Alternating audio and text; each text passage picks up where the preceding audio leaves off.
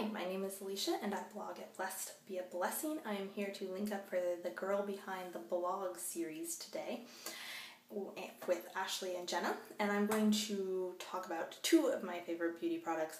Although I have to say, I am really not the person to ask about this. I have only recently started kind of dabbling in makeup, I guess you could say.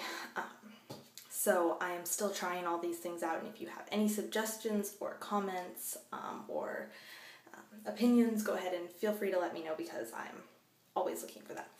So first, I have been just recently started using the Laura Mercier Tinted Moisturizer with SPF, 20 SPF actually. I'm using the nude color.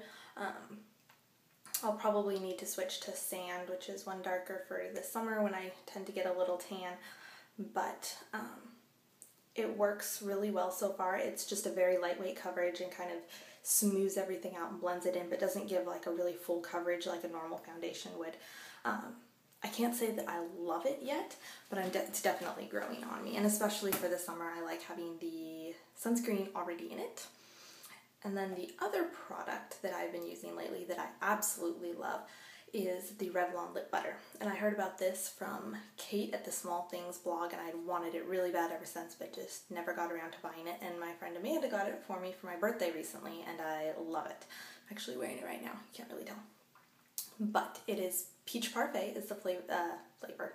The shade she got me and I love it. It just kind of goes with everything. It goes on really smooth. It's only sticky a tiny bit at the beginning and feels like um, a chapstick going on. 10 minutes later, I'm walking around going, oh, I have a tinted lip butter on, not a chapstick. And it just makes me feel pretty and it doesn't have a weird smell that some lipsticks have, so I really, really like it.